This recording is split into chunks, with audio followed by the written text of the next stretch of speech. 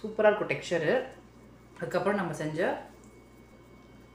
Liver கொஞ்சமாக எடுத்து நான் சமைச்சிட்ருக்கேன் மூணு வேலையும்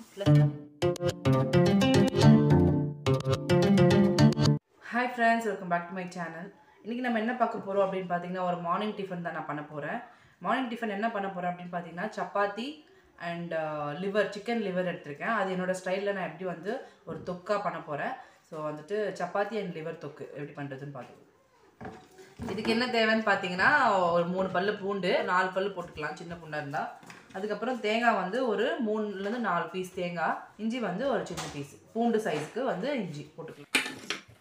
இஞ்சரும் தேங்காய் வந்து நம்ம எப்பவுமே கட் பண்ணி தான் போட்டுக்கணும். இல்லைன்னா வந்து அரையாது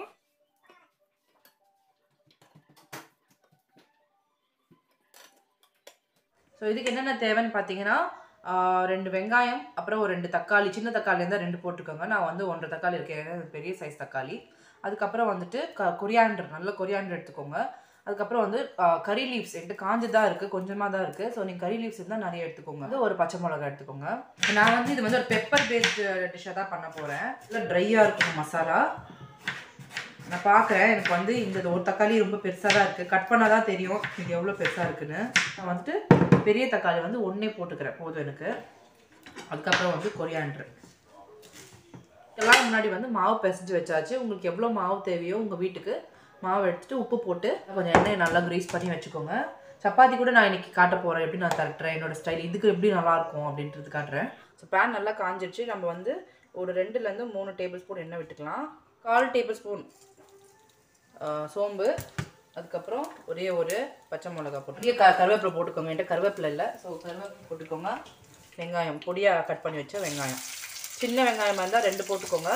பெரிய வெங்காயம் இருந்தால் ஒன்றே ஒன்று போட்டுக்கோங்க. ஸோ இது என்னன்னா இது வந்து நல்லா வந்து வதங்கணும். அதுதான் இது வதங்கி ப்ரௌன் கலரில் மாறினதுக்கப்புறம் தான் நம்ம அடுத்த இது போடணும். அப்போ தான் வந்து நம்மளோட அந்த லிவரோட வந்து நல்லா வந்து ஜெல் ஆகும் மசாலா மூடி போட்டுக்கோங்க. ஒரு தேர்ட்டி செகண்ட்ஸ்க்கு வந்து மூடி போட்டுட்டிங்கன்னா சீக்கிரமாக வெந்துடும் ஃபாஸ்ட்டாக முடியும். இந்த ஸ்டேஜில் வந்து இந்த ஆயிலில் நம்ம கொஞ்சமாக வந்து காஷ்மீரி மிளகாய் தூள் போட்டுக்கலாம். பெப்பர் தான் நிறைய போடணும். ஸோ இதுக்கு வந்து ஒரு அரை ஸ்பூன் வந்து காஷ்மீரி மிளகாய் தூள் போட்டுக்கலாம். மஞ்சத்தூள் ஸோ எதுக்கு நான் எண்ணெயில் போடுறேன்னா ஜஸ்ட் ரொம்ப சிம்பிளாக வச்சுக்கோங்க. சும்மா அப்படி ஒரு கலர் கலரிட்டு நீங்கள் போட்டிங்கன்னா அந்த ஃப்ளேவர் அவ்வளோ நல்லாயிருக்கும். ஸோ இதுக்கப்புறம் வந்துட்டு நம்ம தக்காளி போட்டுக்கலாம். உடனே தக்காளி போட்டுக்கோங்க. இதெல்லாம் தீஞ்சிரும். அது நம்ம போட்ட மிளகாய் தூள் வந்து அந்த வந்து பேர்ன் ஆகிடும் அதனால் வந்துட்டு நல்லா இருக்காது. ஃப்ளேவரே போயிடும். அதனால் சீக்கிரமாக போட்டுக்கோங்க. உப்பு போட்டுக்கலாம். தக்காளி சீக்கிரமாக வெ வதங்கிடும். தேவையான அளவுக்கு கொஞ்சமாக உப்பு போட்டுக்கோங்க. அப்புறமா எவ்வளோ வேணுமோ நம்ம போட்டுக்கலாம். இதே வந்து மீடியம் ஃப்ளேமில் வச்சு நம்ம வந்து தக்காளி தண்ணி விடும். மூடி போட்டு க்ளோஸ் பண்ணி வச்சுக்கோங்க. அது நல்லா கரைஞ்சிடணும் தக்காளி. பொதுவாக வந்து எனக்கு வந்து காலையிலே எல்லா வேலையும் முடிஞ்சிடும் டிஃபன் மார்னிங் டிஃபன் அதுக்கப்புறம் லஞ்சு எல்லாமே முடிஞ்சிடும் இப்போ என்னன்னு பார்த்தீங்கன்னா ஹஸ்பண்ட் வந்து ஒர்க் ஃப்ரம் ஹோம் அதனால் வந்துட்டு த்ரீ டைம்ஸும் நான் சமைச்சிட்ருக்கேன் மூணு வேலையும் ப்ளஸ் ஈவினிங் ஸ்நாக்ஸ் ஸோ வந்துட்டு நான் ஒரு நாள் வீடியோ போடணும்னு தான் நினச்சேன். ஃபுல் டே என்ன பண்ணுறேன் என்ன குக்கிங் பண்ணுறேன் அப்படின்னு.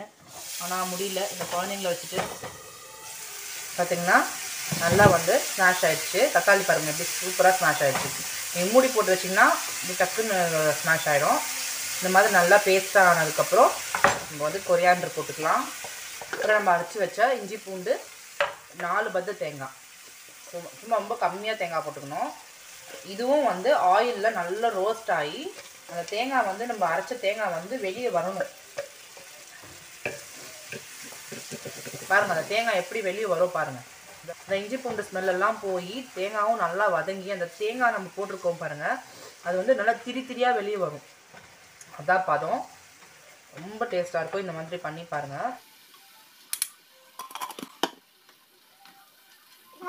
ஒரு நிமிஷத்துக்கு அதுக்குள்ளே பாருங்கள் தண்ணியெல்லாம் சுண்டிடும். ஹஸ்பண்ட் வந்து ஒர்க் ஃப்ரம் ஹோம் பசங்க வந்து ஆன்லைன் கிளாஸ்ன்னு வச்சுக்கோங்களேன். நான் கொடுக்குற ஒரே ஒரு டிப் இது என்னன்னு பார்த்தீங்கன்னா முடிஞ்சுச்சா? அப்படியே வந்து இப்படி அரைச்சி அப்படி வச்சுங்க. நான் வந்து கத்தியிலேருந்து வாஷ் பண்ணி வச்சிடுறேன். மிக்சர் ஜார் அது வந்து நீங்கள் உடனே உடனே வந்து நீங்கள் அரைச்சி வச்சிட்டிங்கன்னா நீங்கள் சோப் கூட போட தேவையில்லை. ஏதாவது ஆயில் கண்டென்ட் இருந்தால் மட்டும் சோப் போட்டால் போதும். இது வந்து ட்ரை தானே. தேங்காய் இஞ்சி பூண்டுனால வந்துட்டு இது நீங்கள் வாஷ் பண்ணி இப்படி போட்டுட்டீங்கன்னா உங்களுக்கு வந்து வந்து பார்த்தீங்கன்னா சூப்பராக வந்து ட்ரை ஆகிட்டு பாருங்க. இந்த செமி லிக்விடாக இருக்கும் போது லிவர் இருக்குது சிக்கன் லிவர் ஸோ இதை போட்டுக்கலாம். இது சப்பாத்திக்கு அவ்வளோ நல்லாயிருக்கும் அது. சிக்கன் ஐட்டம் எல்லாமே வந்து கரெக்டாக டென் மினிட்ஸ் தாங்க குக்கிங் டைம் ஸோ கரெக்டாக வந்து இதுவே தண்ணி விடும். இதுலேயே தண்ணி இருக்கும். இதில் எந்த தண்ணியும் நீங்கள் ஊற்றாதீங்க அப்பயே அதுவே குக் ஆகிடும் மீடியம் ஃப்ளேமில் வச்சுருங்க. ரொம்ப ஃபாஸ்ட்டாக எடுக்கக்கூடாது. மீடியம் ஃப்ளேமில் கரெக்டாக டென் மினிட்ஸ் வச்சிங்கன்னா அது குக் ஆகிடும் பாருங்கள் நம்ம தண்ணியை ஊற்றுல தானே? இப்போ பாருங்கள் தண்ணி எவ்வளோ தண்ணி வெளியே வரும்னு பாருங்கள் ஒரு ஒரு நிமிஷம் ஆயிருக்கு. மூடி போட்டு எப்படி இருக்குன்னு பார்ப்போம். பாருங்கள் நம்ம தண்ணியே ஊற்றலை எவ்வளோ தண்ணி வந்திருக்கு பாருங்கள் அதுலேருந்து. ஸோ எப்போவுமே வந்து சிக்கன் டிஷ் எல்லாம் வந்து தண்ணி ஊற்றாமல் செஞ்சிங்கன்னா அவ்வளோ டேஸ்ட்டாக இருக்கும். கரெக்டாக அந்த டைமிங் தான். ஆனால் சிம் நல்லா வந்து மீடியம் ஃப்ளேமில் வெந்துச்சுன்னா உங்களுக்கு நல்லா சாஃப்டாக வேகும். வந்துட்டு மறுபடியும் மூடி போட்டு கரெக்டாக ஒரு அஞ்சு நிமிஷத்துக்கு கழிச்சு நம்ம பார்க்கலாம். என்னோட ஸ்டைல் சப்பாத்தி நான் எப்படி பண்ணுறேன் ரொம்ப சாஃப்டாக இருக்கும். சைஸாக ஊற்றி வச்சுக்கலாம் நல்லா மாவு போட்டுட்டு ஒரு மீடியம் சைஸில் வந்து தட்டி வச்சுக்கோங்க இதை. நல்லா கொஞ்சம் பெருசாகவே தட்டிக்கலாம். சின்னதாக வேண்டாம். அதுக்கப்புறம் ஆயில் நல்லா வந்து அப்ளை பண்ணிவிட்டு இது மேலே அப்ளை பண்ணிவிடுங்க ஆயில் அதுக்கப்புறம் அது மேலே வந்து பவுடர் போட்டுக்கலாம். நம்ம வந்து கோதுமை மாவு தான். இதை வந்து இப்படி போட்டுட்டு பாருங்கள் இப்படி ஒரு ஃபோல்டு அதுக்கப்புறம் லைட்டாக ஆயில் அதுக்கப்புறம் வந்து இப்படி ஒரு ஃபோல்டு ஓகேங்களா? ஸோ இந்த மா இதுக்கப்புறம் வந்துட்டு லைட்டாக வந்து பவுடர் நம்ம கையில் இருக்கிற ஆயிலே போதும். ஸோ அதுதான் இந்த மாதிரி பண்ணிங்கன்னா பரோட்டா மாதிரி உங்களுக்கு லேயர் லேயர் லேயராக சப்பாத்தி வரும். அது மட்டும் இல்லாமல் சாஃப்டாக கிறிஸ்பியாகவும் இருக்கும். இருக்குது பாருங்கள் அதுவே தண்ணி விட்டு அதுவே குக் பண்ணிக்கிச்சு. நம்ம தண்ணியே விடலை. வந்து பாருங்கள் ஆல்ரெடி குக் ஆகிடுச்சு ஒரு 70% பர்சன்ட் குக் ஆகிடுச்சு ஃபைவ் மினிட்ஸ் ஆயிருக்கு. சிக்கன் ஐட்டம் எல்லாத்துக்குமே வந்து டென் மினிட்ஸ் தான் கரெக்டாக நான் ஸோ நான் வந்து இதில் வந்து காரத்துக்கு வரும் ஹாஃப் ஸ்பூன் மிளகாத்தூள் தான் போட்டிருக்கேன். இது வந்து இதில் போட்டுருவோம். அது கரெக்டாக இருக்கும். அதுக்குள்ளே சப்பாத்தி நம்ம சுட்டு எடுக்கிறதுக்கு கரெக்டாக இருக்கும்.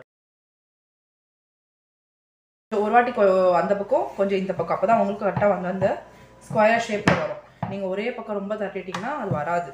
மீடியமாக தட்டிக்கோங்க. ரொம்ப தின்னாவும் வேண்டாம். ரொம்ப திக்காவும் வேண்டாம். நல்லா ஒரு மீடியம் சைஸில் தட்டிக்கலாம். நான் வந்து எல்லாத்துக்கும் ஆரம்பிக்கிறதுக்கு முன்னாடி வந்து மாவு பிசைஞ்சு வச்சுட்டேன். அதுக்கப்புறம் லிவர் டிஷ் கம்ப்ளீட் பண்ணதுக்கப்புறம் லிவரை போட்டுட்டு நம்ம மூடினதுக்கப்புறம் தான் நம்ம இந்த ஃபோல்டிங் பண்ணோம். ஸோ அது மாதிரி நீங்கள் கரெக்டாக பண்ணிங்கன்னா உங்களுக்கு வந்து டைம் வந்து கரெக்டாக சேவ் ஆகும். பாருங்கள் இந்த மாதிரி. இன்னும் அந்த டிஷ் லிவர் வந்து வெந்துட்டுருக்கு. ஒரு அஞ்சு நிமிஷம் தான் ஆயிருக்கு. ஸோ அதுக்குள்ளே நான் வந்து இதை திரட்டி எடுத்து இதை சுட்டு எடுத்தேன்னா அதுக்குள்ளே அது சரியாக கரெக்டாக இருக்கும். சிக்கன் வந்து நல்ல ஒரு எயிட் மினிட்ஸ் குக் ஆயிடுச்சு. இந்த ஸ்டேஜில் வந்து half tablespoon oil half tablespoon pepper powder Black pepper powder அதுக்கப்புறம் வந்துட்டு ஒரு two pinches chicken six powder போட்டு நல்லா வந்து ரோஸ்ட் பண்ணி எடுத்துக்கோங்க. ஒரு ரெண்டு நிமிஷம் நல்லா ரோஸ்ட் பண்ணிங்கன்னா உங்களுக்கு சூப்பராக வந்து டிஷ் ரெடி ஆகிடும் நான் வந்து அந்த கிளிப்பை எடுத்து சப்பாத்தியை வந்து கையிலே இந்த மாதிரி திரட்டிட்டு சுட்டு எடுத்துருவேன். ஜஸ்ட் நான் ஆயில் போடுறதுக்கு மட்டும்தான் ப்ரெஷ்ஷோ இல்லை ஸ்பூனோ யூஸ் பண்ணுவேன். மற்றபடி சப்பாத்திக்கு வந்து எனக்கு கையே போதும். ஆனால் நீங்கள் யாரும் வந்து அதை யூஸ் பண்ணாதீங்க. அது நிறைய எக்ஸ்பீரியன்ஸ் சூடெல்லாம் வந்து நீங்கள் பழகணும். அதுக்கப்புறம் தான் அதெல்லாம் நீங்கள் யூஸ் பண்ண முடியும்.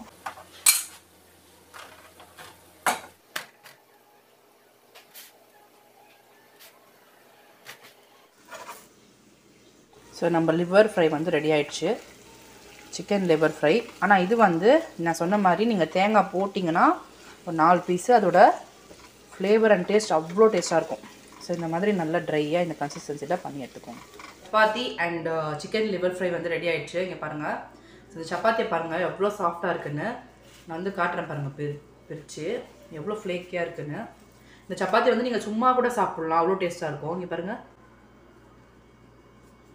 சூப்பராக இருக்கும் டெக்ஸ்சரு அதுக்கப்புறம் நம்ம செஞ்ச லிவர் கொஞ்சமாக எடுத்து செம்ம சூடாக இருக்கு. வாவ். அவ்வளோ டேஸ்டாக இருக்கு. வாவ். வெரி வெரி யம் நம்ம போட்ட மசாலா பெப்பர் மிளகாய் தூள் எல்லாமே அவ்வளோ ஆப்டாக இருக்குது உப்பெல்லாம் பர்ஃபெக்டாக இருக்குது நான் ஃபஸ்ட்டு கொஞ்சம் உப்பு போட்ட பாருங்க அவ்வளோதான் நான் உப்பே போடலை. வா வா வா very very tasty wow. Really கண்டிப்பாக ட்ரை பண்ணி பாருங்கள் இதே மாதிரி ட்ரை பண்ணுங்கள் தண்ணி விடாதீங்க.